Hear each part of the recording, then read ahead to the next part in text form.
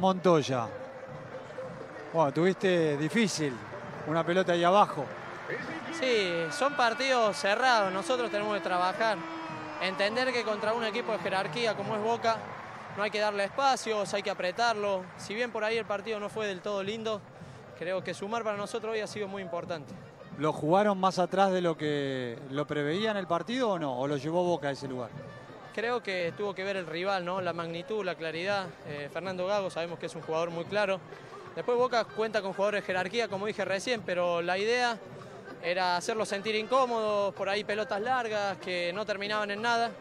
Y de a poco que caiga en la desesperación, evidentemente que es Boca, se te viene, pero el equilibrio, el orden y, y la entrega máxima nos permitieron sumar hoy. ¿Están casi salvados con esto?